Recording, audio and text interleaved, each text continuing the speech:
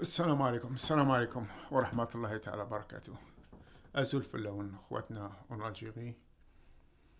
في كل وفي كل أقطار العالم. فيه أخ سأل علي سألني سؤال. قال لي هل هناك يعني في إجابة أو حل؟ يعني بالأصح يعني حل لل pour la situation qu'on a هذه قضية الكورونا فيروس والطريقة الخبيثة الذي التي تتعامل معها الحكومة والرئاسة المزورة وقيادة الأركان وبمخابراتها وكل ما هو تابع لها. يريدون قتل الثورة. يريدون قتل الثورة لكن إحنا نريد بقائها على نفس المنوال أو أكثر ونريدها أن تتصاعد. لكن في نفس الوقت في خطر في خطر اللي هو مرض الكورونا الذين يريدونه هم هم أن ينتشر في الجزائر. كيف نستطيع تغلب على الاثنين؟ هذا سؤال كان طرح علي من أخ ما كيلكو أفكر فيه يعني. حتى أستطيع الرد. هي لكن إذا عمل به الرد بتاعي هذا. إن في حل حل واقعي. حل نستطيع القيام به. وسهل جدا إذا استمع الشعب الجزائري إليه. وإلى كان يريد تحرير نفسه. وفي نفس الوقت احتفاظ على صحته واحتفاظ على أمنه. أن يقوم به. ممكن. نعم. حاولوا من فضلكم أن تنشروا هذا الفيديو حتى يعرف كل أبناء الجزائر في الجزائر ما المفعول ما المفروض. فعله حتى ننقذ الجزائر كأرض كوطن وننقذ كل ما هو جزائري. ننقذه اقتصاديا ننقذه صحيا. ولا نتهور في تعرضه أو تعرض صحته إلى أي خطر. لذا لازم نشر هذا الفيديو لنا حل وممكن أتى لنا من السماء إنه هذا الوباء. لا نريده لا لانفسنا ولا لغيرنا لكن كما تريد الحكومة والرئاسة والعساكر استعماله ضدنا سنستعمله ضدهم.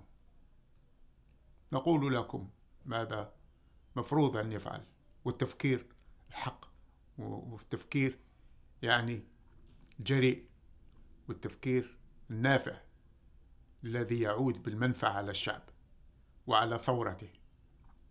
هو إضراب عام. إضراب عام تباشرون فيه في الجزائر. لا تخرجوا من المنازل ولا تفتحوا أي دكاكين ولا تذهبون إلى أي شغل. لأن حياتكم أولا معرضة للخطر لو تخرجوا في جماعات. وثانيا حتى نسقط هذه العصابة. هو سلاح ذوي حدين إضراب عام. أن نبقى حتى نبقوا محظيين حتى لا تضر صحتنا بهذا المرض كورونا فيروس ونسقط العصابة. حتى يعرف العالم أن فيه إضراب عام مفتوح في الجزائر. وهذا حل. وساعدوا بعضكم بعض فقط. إذا كان الإنسان اللي عنده أكل وجاره ما عندوش فليمنح جاره اقتسم معه فطار أو عشاء. والجزائريين ممكن يتحملوا أسبوع. لكن هذه الحكومة وهذا النظام الفاسد لا يستطيع أن يبقى أكثر من ثلاث أيام واقف إذا ما قررنا كجزائريين إضراب عام شامل مفتوح. هكذا لا تتضرر صحة أبناء الجزائر بخروجهم حتى لا يصابوا بهذا الداء وحتى نسقط العصابة. هذا إذا كان تريدون حلا سلميا. حلا يعود بالتغيير على الجزائر. يعود بإسقاط النظام الفاسد. لذا هذا حل. حل بسيط. لكن إذا فعل به ستنجح الثورة. وبطريقة سريعة. وبدون ضرر. الأشياء الوحيدة اللي تبقى مفتوحة مستشفيات لأن في استعجالات عشان المساكين هم المتضررين في الآخر إذا كان في حوادث أو شيء من ذلك. والمطافئ. وما الشيء الثاني فهو اوريدي غالق. إذا كنا على المطارات فهي تقريبا مغلوقة. لكن إضراب عام في الشغل عمل أي شيء. الإدارة تتوقف. هذا كان إذا كان تريدون منفعة ومخرجا للجزائر فهذا ممكن.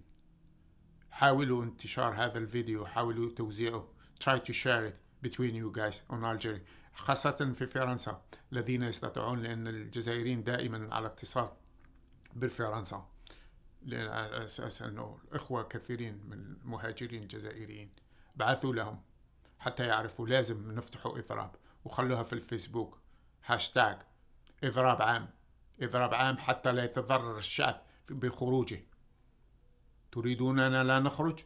فلا نشتغل كذلك. هذا هو الحل. والسلام عليكم ورحمة الله تعالى وبركاته. السلام عليكم.